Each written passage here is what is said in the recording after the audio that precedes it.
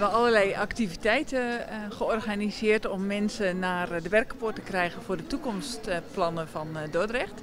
En een van de um, attracties is een, een hartenbankje van Johan Leenkuil.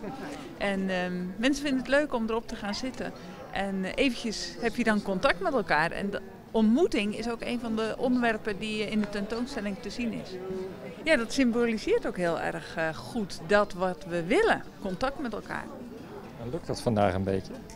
Dat lukt, uh, ja, mag altijd meer. Mogen altijd nog steeds meer mensen komen naar de Berkenpoort, maar ik vind dat het behoorlijk lukt. Ja.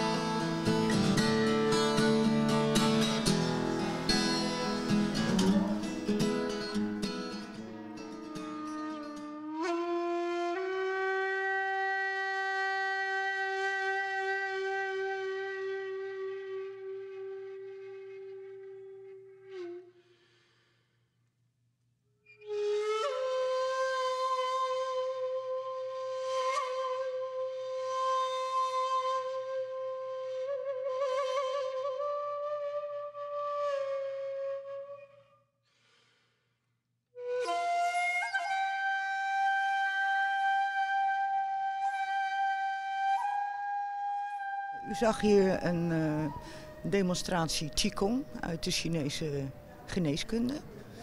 zeg maar een heilgymnastiek. En u zag Tai Chi uh, uit het Wudang-gebied. Het laatste wat u zag, zeg maar een soort uh, gevechtbewegingen. En ja, dat komt uit China. nou, mensen worden heel rustig. Ze stoppen met dat dagelijkse denken. Ze zijn lekker hard aan het werk met hun eigen lichaam. En dat uh, geeft ontspanning. Uh, de pezenspieren worden soepel gemaakt. Uh, mensen krijgen een betere balans en worden blij. Je begint eigenlijk bij je eigen, op je eigen pad, zou ik zeggen. De ene is wat soepeler, de andere niet. maar we doen letterlijk stap voor stap in een les nieuwe stof aanbieden. En dat is voor iedereen te behappen en breed toegankelijk, zou ik zeggen. Jong en oud. Ja.